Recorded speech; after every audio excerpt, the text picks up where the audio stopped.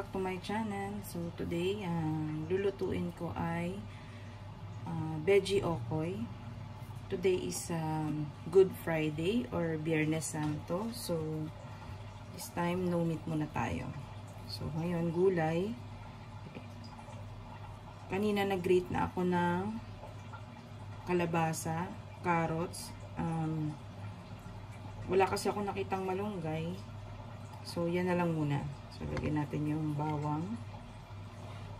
And then, yung sibuyas or onion.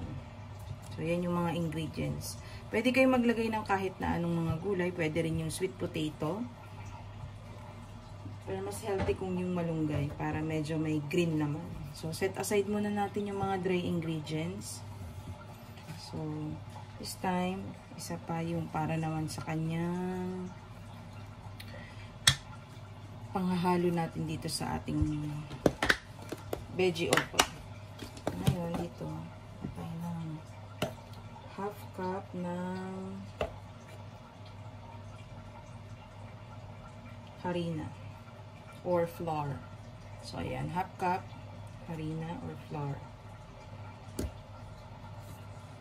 And then, since wala akong cornstarch, ang gagamitin ko yung pang tempura mix. Ito. So, nabili ko siya sa Asian store. Yan, tempura mix. Pang tempura mix yun. So, half cup din. Tayo ng half cup. Siya medyo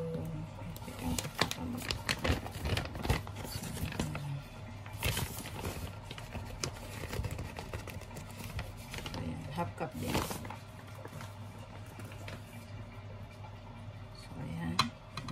ating mga dry ingredients. Next is ang ating wet ingredients para i-mix yung butter natin, yung butter which is the, yung kanina, yung 1 cup na flour, uh, half cup na flour, at saka half cup ng tempura. So, kailangan ay, kailangan natin ng 1 egg.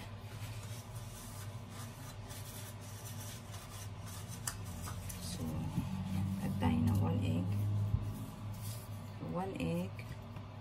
Lagyan natin dito. At saka, kailangan ko ng cold water. So, half cup ng cold water. Ayan, half cup cold water. mix natin siya.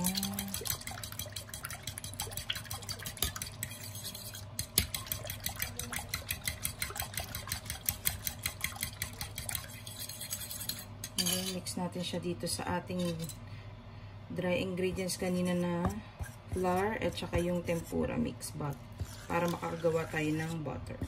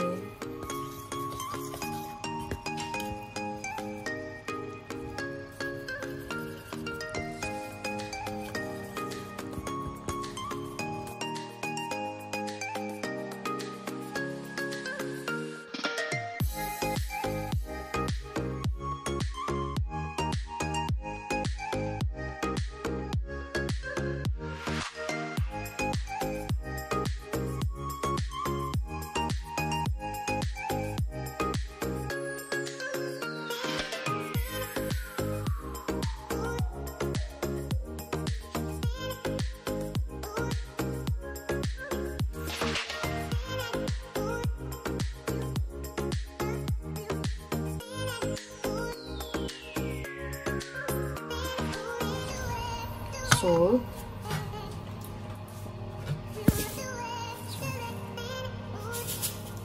Salt.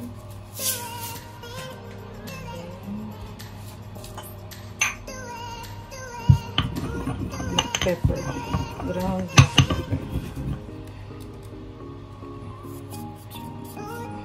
pepper. And then, imimix natin yung butter na ginawa kanina.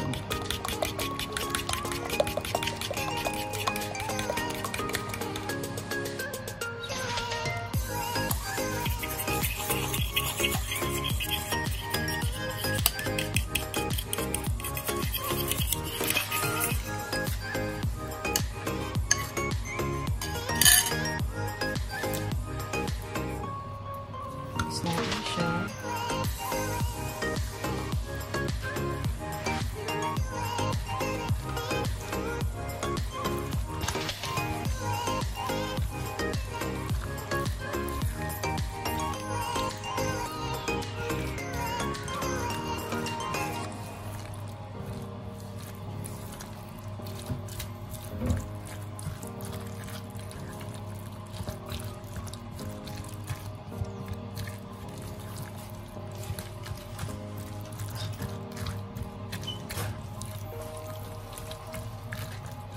So, ayan na po. Uh, na-mix na natin. Ngayon, ipa-fry naman natin siya. Okay.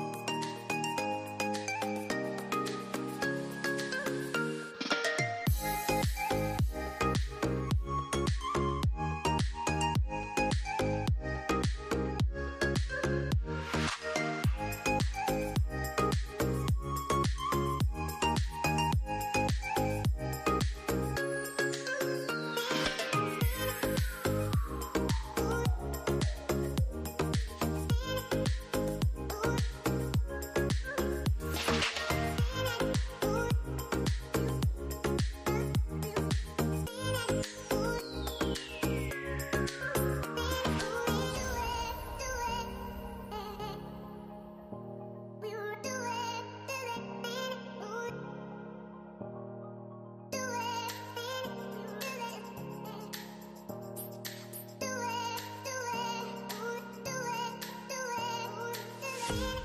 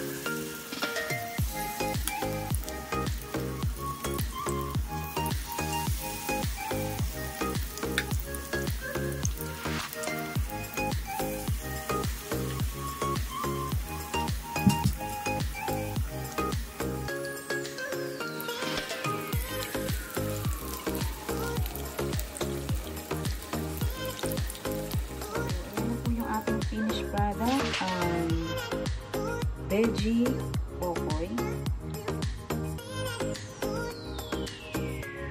para sa ating Good Friday or Biyernes Santo meal.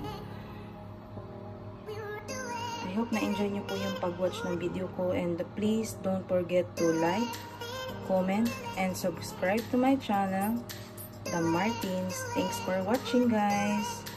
Bye!